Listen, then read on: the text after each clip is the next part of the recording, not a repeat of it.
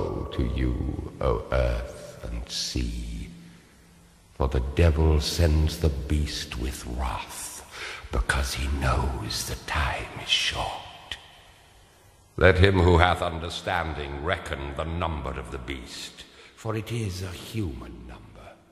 Its number is 666.